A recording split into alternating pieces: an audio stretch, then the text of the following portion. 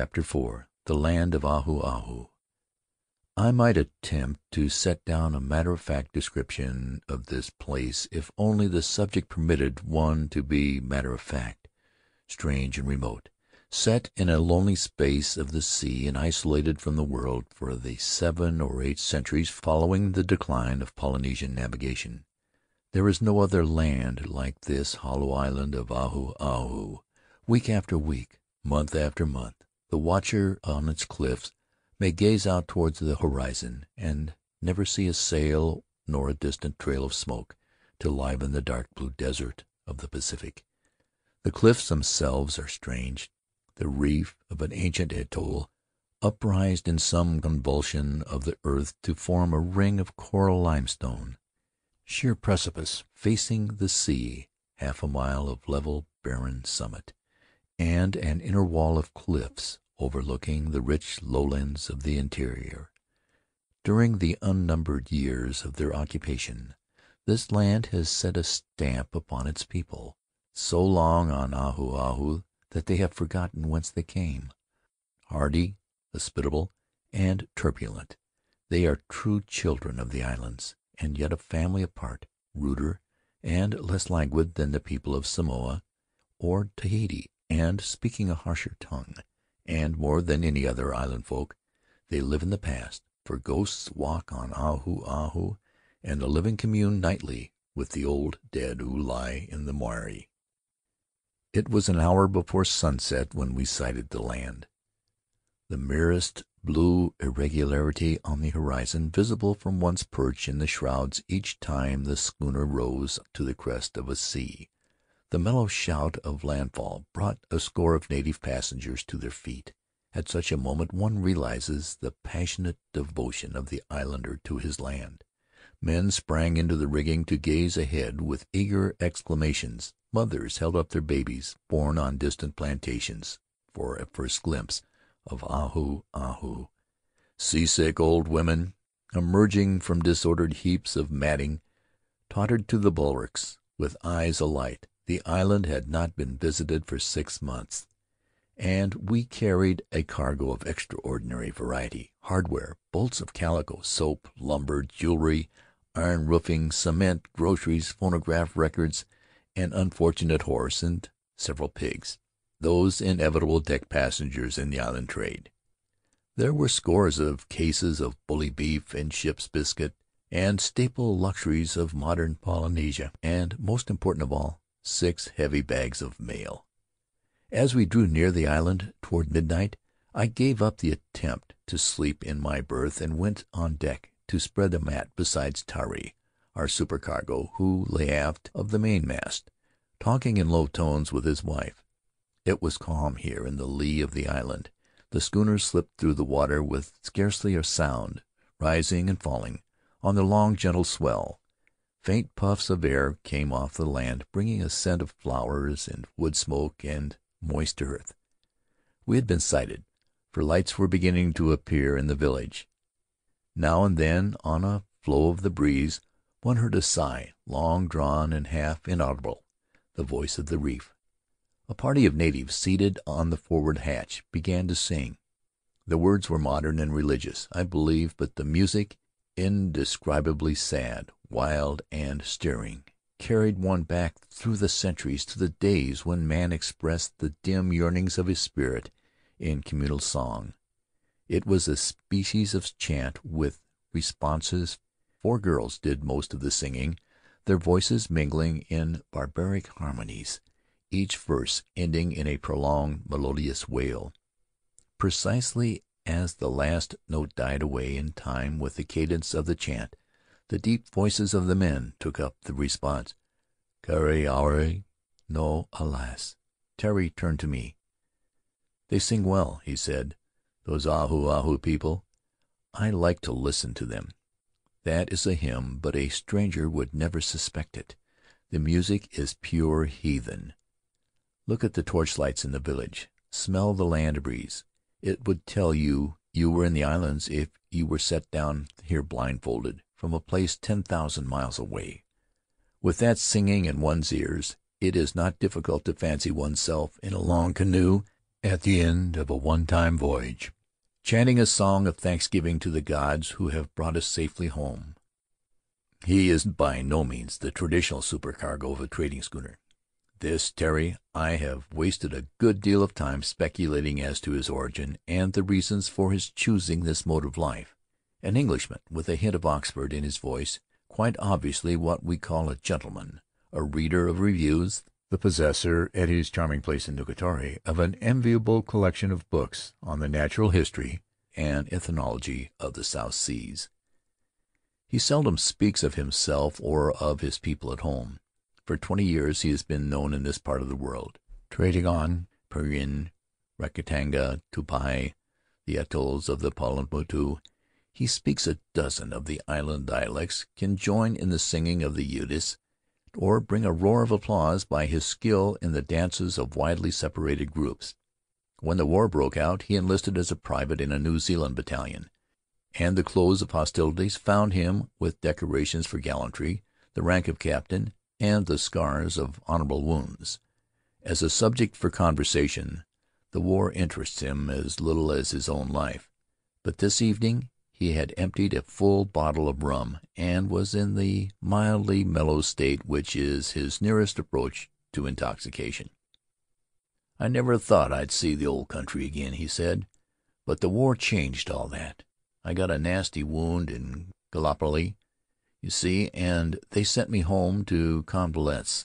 The family wasn't meant to know I was hurt, but they saw a bit of a thing in the paper an account of the exploit which won Terry his D.C.M., and there they were at the dock when the transport offloaded. I hadn't laid eyes on them for fifteen years. The old governor, by Jove! He was decent. It was all arranged that I should stop in England when the war was over. I thought myself it was a go, when the job was finished, and I'd get a special dispensation to be demobbed at home. I stood it for a fortnight and then gave up. Home is all very well for a week or two, but for a steady thing I seem to fit better down here. What is it that makes a chap stop in the islands? You must have felt it yourself, and yet it is hard to put into words. This sort of thing, perhaps." He swept his hand through the soft darkness. The beauty, the sense of remoteness, the vague and agreeable melancholy of these places. Then I like the way the years slip past, the pleasant monotony of life. My friends at home put up with a kind of dullness which would drive me mad. But here, where there is even less to distinguish one day from another, one seems never to grow fretful or impatient of time. One's horizon narrows, of course. I scarcely look at the newspaper any more. If you stop here you will find yourself unconsciously drifting into the native state of mind readjusting your sense of values until the great events of the world seem far off and unreal, and your interests are limited to your own business, the vital statistics of your island, and the odd kinds of human nature about you. Perhaps this is the way we are meant to live. At any rate, it brings serenity. I've been here too long to sentimentalize about the natives. They have their weak points, and plenty of them. Allowing for these, you'll find that the Kanakas are a good sort to have about, often amusing, always interesting, at once deep, artful, gay, simple, and childish. At bottom they are not very different from ourselves. It is chiefly a matter of environment. Consider any of the traders who came here as boys, old fellows who will buttonhole you and spend hours abusing the people. The truth is that they have become more native than the men they abuse. There are places like Africa where one can live among a primitive people and absorb nothing from them. Their point of view is too alien, their position in the scale of humanity too widely separated from our own. It is different in the islands. If one could discover the truth, it wouldn't surprise me to learn that these people were distant cousins of ours. The scholars, in whose conclusions I have much faith, trace them back along the paths of successive migrations through Indonesia to northern India, or the land of the Cushites. In any case, I believe that the blood we term Caucasian flows in their veins, the legacies of ancestors separated from the parent stocks so long ago that mankind had not yet learned the use of iron, And they are old, these island tribes, who were discovering new lands in the Pacific in the days when our forefathers wore the horns of bulls upon their heads. Don't judge them in the present, or even in the time of Cook. They were a dying people then, whose decline had begun five or six hundred years before. It seems to me that a race, like an individual, grows old, loses heart, and fades away. On nearly every island they are dying to day, a tragedy, an inevitable one, which the coming of the European has hastened, but not caused. Whether or not it may be accounted for on grounds of a distant kinship, it is impossible to stop long in the islands without absorbing, to a certain extent, the native point of view. Things which seem rubbish at first slowly acquire significance. One begins to wonder if, after all, there may not be varieties of knowledge lost to us in the complexities of civilization. I've seen some queer things myself. My wife's mother lives on Ahu Ahu, where her ancestors have been hereditary rulers since Maui fished the island out of the sea. I've known the family a good many years, and long before I married Apakura the old lady was kind enough to take a motherly interest in me. I always put up with her when we touched at Ahu Ahu. Once, after I had been away for several months, I sat down to have a yarn with her, and was beginning to tell about where I'd been and what I'd done, when she stopped me. "No, let me tell you," she said, with an odd smile, and upon my honor she did, down to the details. I got the secret out of her the same evening. She is very friendly, it seems, with an ancestor of hers, a woman named Rakamoana, who lived twenty eight generations, seven hundred years ago, and is buried in the big marae behind the village.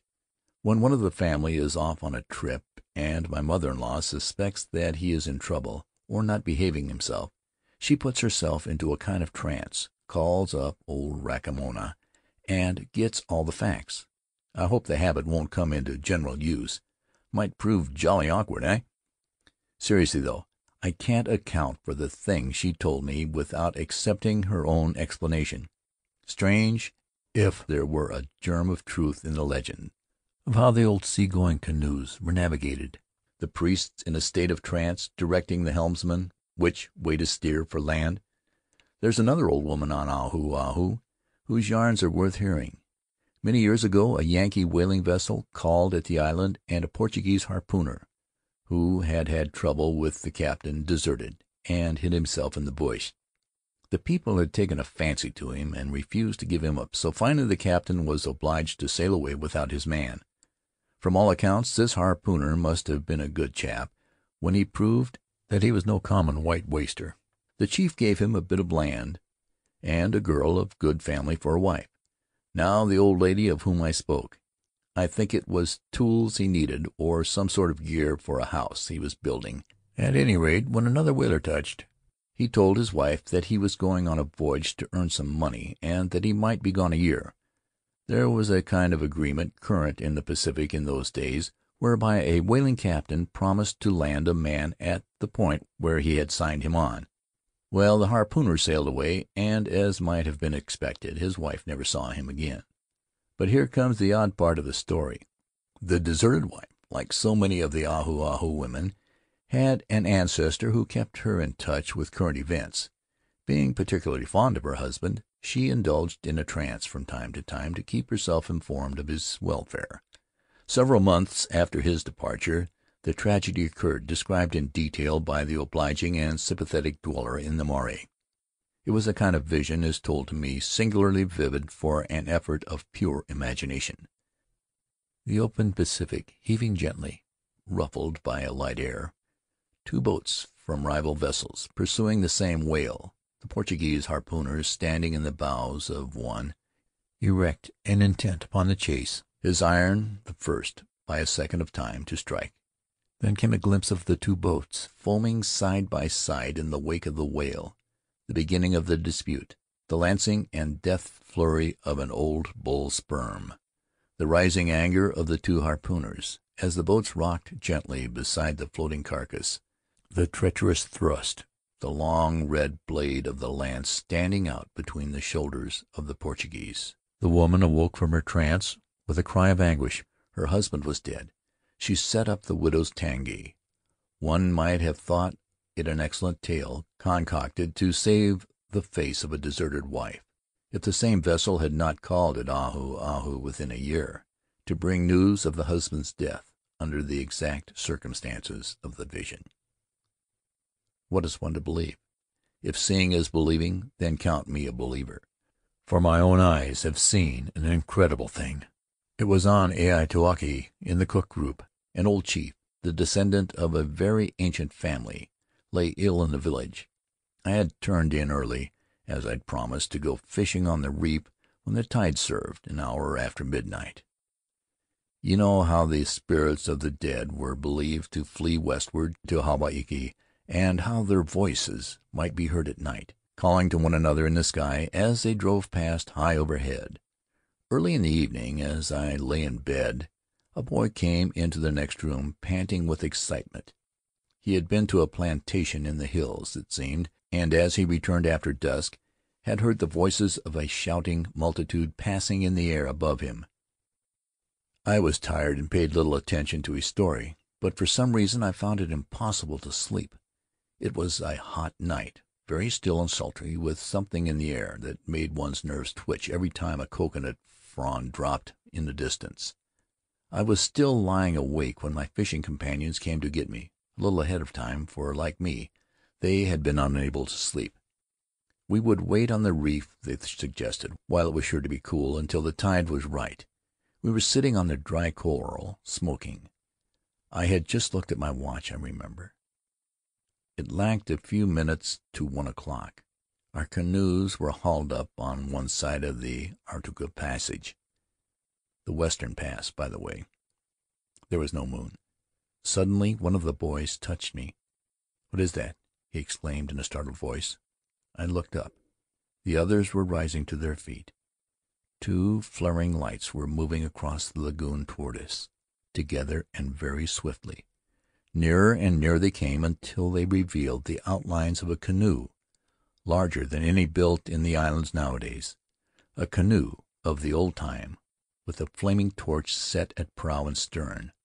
While we stood there, staring in silence, it drew abreast of us, moving with the rush of a swift motor boat, and passed on out to sea.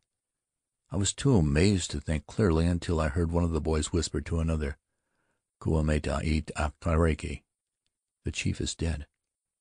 The great canoe bears him out to the west. We launched our canoes and crossed the lagoon to the village. Women were wailing. Yes, the old man was dead. He had drawn his last breath a little before one o'clock. Remember that I saw this thing myself. Perhaps it was a dream. If so, we all dreamed alike. It was late. The singing died away. The lights in the village went out one by one. The passage in the Ahu Ahu reef is a bad place by daylight. The chances were that no canoes would risk it till dawn. Tari struck a match for an instant and lay down on the mat beside his wife. In the little flare of light I saw her sleeping in the unconscious manner of a child. I know their story. A pretty one, in pleasant contrast to the usual ignoble and transitory loves of white and brown. Apakura is the daughter of the principal family of this island. Her mother and father for many years the warm friend of Tari. He had petted the child from the time she was three. She was always on the beach to meet the canoe that brought him ashore, and he, for his part, never forgot the small gift for which she waited with sparkling eyes. On his rambles about the island the little girl followed Tari with the devotion of a dog, many a time clambering along the base of the cliffs at dawn his first knowledge of her presence came with the shrill cry of "Taiki! Mai Tari!"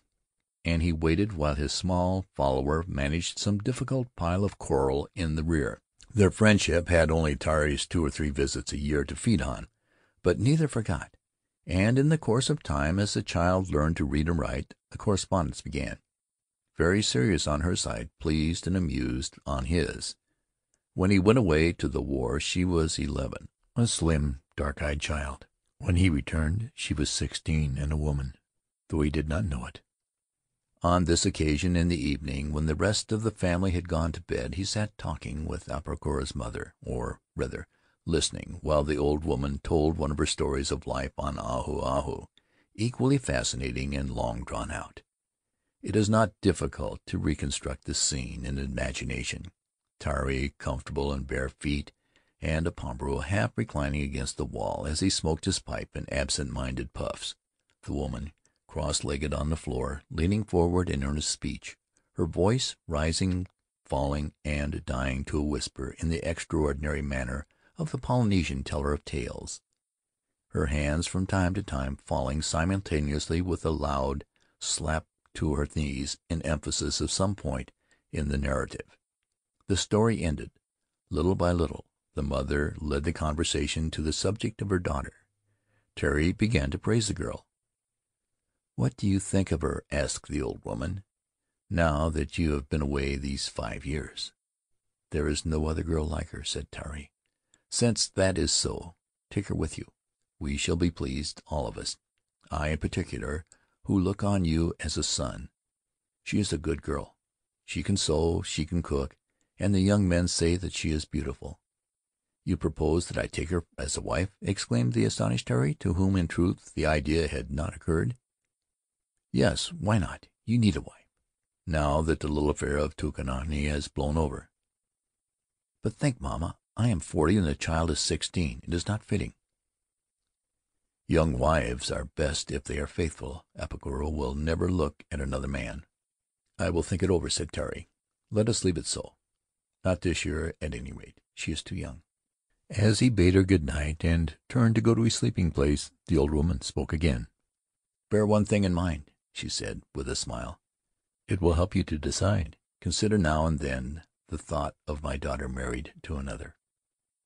In the end, as is often the case, it was Apakura who settled the matter. Next morning Tari was busy with some stock taking and did not board the schooner till the last moment, or notice, in his preoccupation, the mysterious smiles with which the crew greeted him.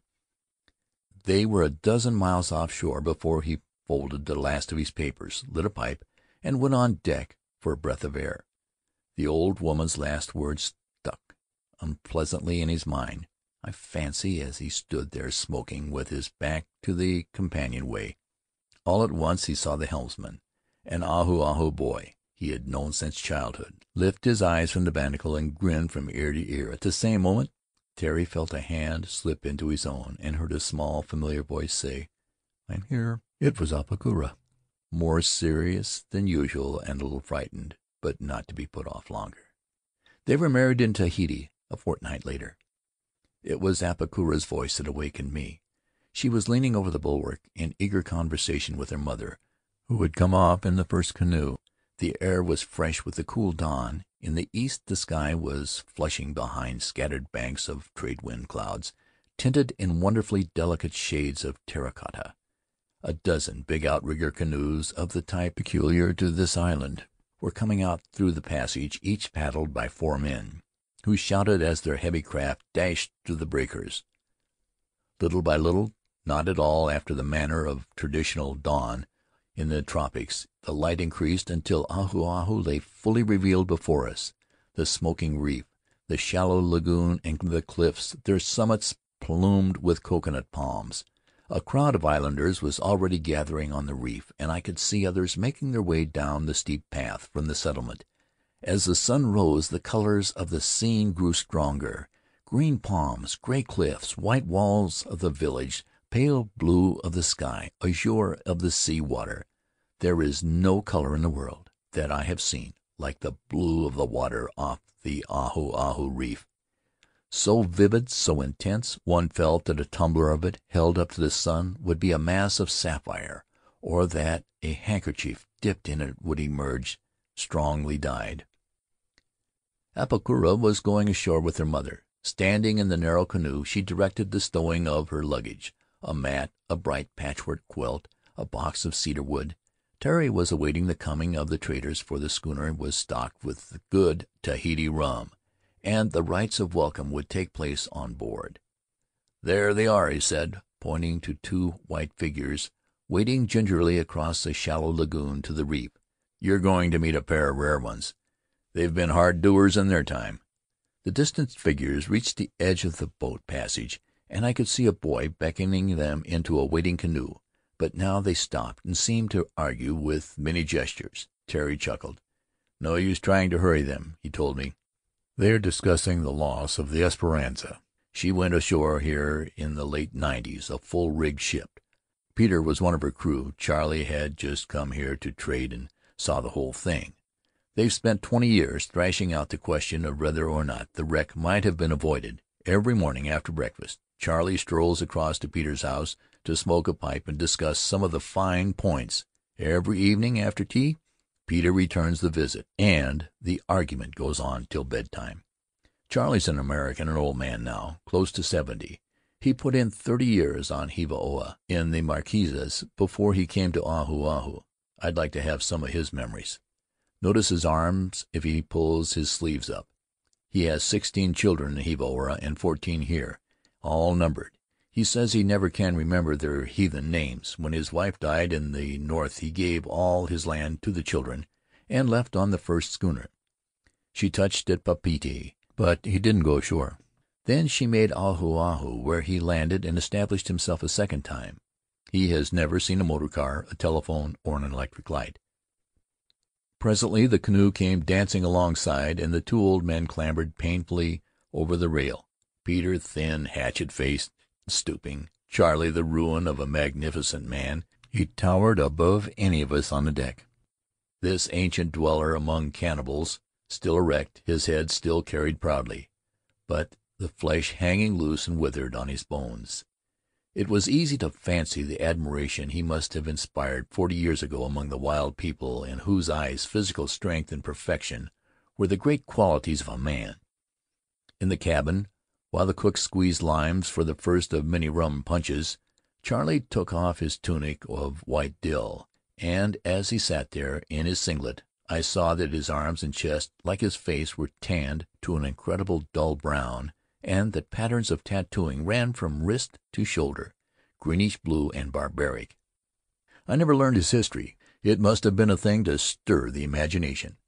Once as we sat drinking Tari mentioned Stevenson, and the old man's face brightened. "Ee," he said slowly in native fashion, "I remember him well. He came to Hiva Oa with the Casco. A funny fellow he was, thin. There was nothing to him but skin and bones and questions he'd ask you a hundred in a minute. I didn't take to him at first, but he was all right. I didn't care how he dressed.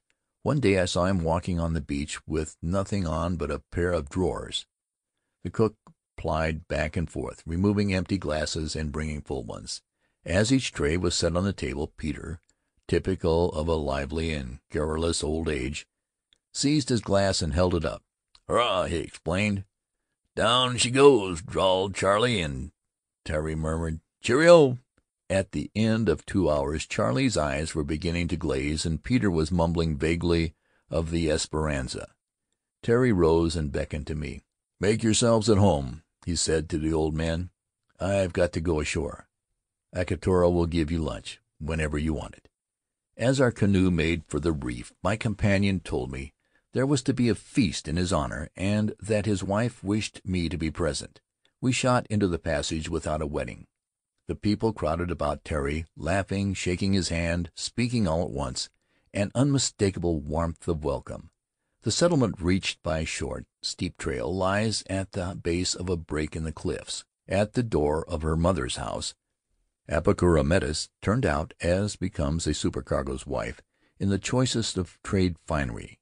She wore heavy golden earrings, bands of gold were on her fingers, and her loose frock was of pale embroidered silk.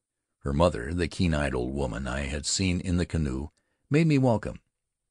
In the afternoon, when the feast was over and we rose stiffly, crammed with fish and taro and baked pig, I asked Tari if he knew a youngster who would show me the best path to the interior of the island. A boy of ten was soon at the door, a dark-skinned child with a great shock of hair and legs disfigured by scars of old coral cuts. A twisting path, cobbled and wide enough to walk two abreast, led us to the summit. The stones were worn smooth by the passage of bare feet, for, excepting fish, all the food of the village is brought over this road from the plantations to the sea. There could be no doubt that the ring of cliffs on which we stood was an ancient reef. In places one could recognize the forms of coral embedded with shells of many varieties in the metamorphosed rock. Here and there one found pockets of a material resembling marble, veined and crystalline formed from the coral by processes impossible to surmise. The bulk of the rock is the fine grained white limestone called Makatea in the eastern Pacific. The level summit of the cliffs over which in centuries gone by the sea had washed and thundered forms a narrow path, sparsely wooded and cultivated in spots where a thin soil has gathered in the hollows. We halted under one of the palms crowning the inner brink. The trail wound down giddily ahead, so steep in places that ladders had been fastened to the rock. To right and left of us the cliffs were sheer walls of limestone, rising from a level little above that of the sea. The low hills of the interior, volcanic and fern covered, draining in every direction toward the foot of the Makatea, have formed a circling belt of swamp land, on which all the taro of the island was grown. One could look down on the beds from where we stood, a mosaic of pale green, laid out by heathen engineers in days beyond the traditions of men. Another time, perhaps, I will tell you of that afternoon, how we climbed down the trail and walked the dikes among the taro, how my escort increased to a merry company as the people began to come after food for the evening meal, of a boisterous swim in a pool beneath a waterfall of how I found the remains of an ancient house, built of squared stone, so long ago that over one end of it the wooded earth lay two yards deep. Toward evening, in the bush at the edge of the taro swamps, I came upon a large house, built of bamboo and pandanus in the native fashion. A man was standing, framed in the doorway — a tall white man, dressed in pajamas of silk. His gold rimmed spectacles, gray beard, and expression of intelligent kindness were vaguely academic, out of place, as the cultivated voice which invited me to stop. The boys and girls escorting me squatted on their heels outside. A brace of pretty children, shy and half naked, scurried past as I entered the house. My host waved his hand toward a mat. There was only one chair in the room, standing before a table on which I saw a small typewriter, and a distorted heap of manuscript. Otherwise the place was unfurnished except for books, ranged in crude bookcases, tier upon tier, stacked here and there in precarious piles, standing in rows along the floor. "I'm glad to see you," he said, as he offered me a cigarette from a case of basket work silver. "It is not often that a European passes my house. I shall not give his name, or attempt to disguise him with a fictitious one. It is enough to say that he is one of the handful of real scholars who have devoted their lives to Polynesian research. I had read his books, published long before, and wondered more than once whether he still lived and where he hid himself. The years of silence had been spent, he told me, in a comparative study of the ocean dialects through which he hoped to solve the riddle of the Pacific, to determine whence came the brown and straight haired people of the islands. Now, with the material in hand, he had chosen Ahu Ahu as a place of solitude where he might complete his task of compilation undisturbed. "On the whole," he said, with agreeable readiness to speak of his work, "I am convinced that they came from the west. The Frenchman's theory that the race originated in New Zealand, like the belief that they migrated westward from the shores of America, is more picturesque, more stirring to the imagination but the evidence is too vague. If one investigates the possibilities of an eastward migration, on the other hand, one finds everywhere in the western islands the traces of their passage. Far out in the Orient, in isolated groups of the coast of Sumatra, about Java and the Celebes in the Arafura Sea, I can show you people of the true Polynesian type. Even in such places where the last migration must have passed nearly two thousand years ago, Scraps of evidence remain — a word, a curious custom, the manner of carrying a basket. These things might seem coincidences if the trail did not grow warmer as one travels east. Though no trace of their blood is left, New Guinea must at one time have been a halting place in the migration. Papua it is called, and one finds the word current in Polynesia, meaning a garden, a rich land. The natives of New Guinea are as unlike the people of the eastern Pacific, I should say, as the average American or Englishman, and yet throughout New Guinea there is a most curious cropping out of Polynesian words pointing to a very ancient intercourse between the races. Consider the word for woman among the Polynesians. In Rarotonga it is vien; in Tahiti, vahine; in Marquese, vihine; in Hawaii, vahine; in Samoan, vafane. The same root runs through the dialects of Papua. In Motu, woman is hibine; in Kerepunu, varvine in Amoy, Barbine, and in Motueka it is Va, which in this part of the Pacific means variously female, seed, and rain. I can cite you dozens of similar examples. Now and then one comes across something that sets one's imagination to work. As you must know, the word for sun in the islands is Ra, but in Tahiti they have another word, Mahana. In New Guinea thirty five hundred miles away, and with all Melanesia between, the tribes of South Cape call the sun Mahana. What a puzzle it is, though it may be the merest coincidence that Ra has a flavor of Egypt. I wonder if there could be a connection. I used to know a girl in Tahiti whose strange and rather beautiful name, hereditary as far back as the records of her family went, was that of a queen of Egypt, who ruled many hundreds of years before Christ. But I mustn't ride my hobby too fast. It is a pity you can't stop on Ahu Ahu for a time. There are not many islands so unspoiled. I've grown very fond of the place. I doubt if I ever leave it permanently.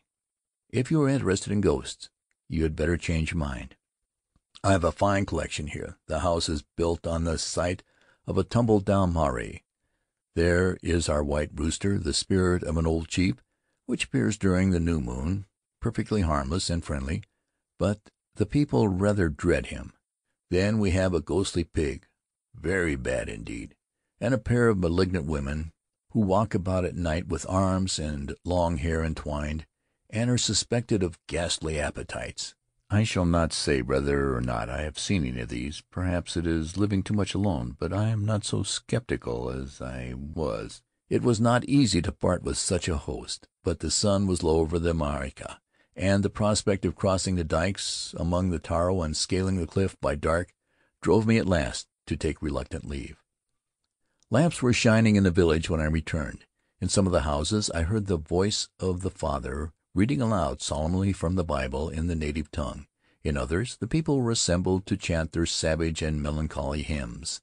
Tari was alone on the veranda, smoking in his absent-minded fashion, and motioned me to sit down beside him. I told him how I had spent the afternoon. When I had finished he puffed on in silence for a time. "It is a strange place, Ahu Ahu," he said at last. "My mother in law has finished her prayers, sung her himenes, and put away the family Bible. Now she has gone to the house of one of her pals for a session with old Rakamoana. Like the land itself, the people are relics of an elder time, pure heathen at heart. End of chapter 4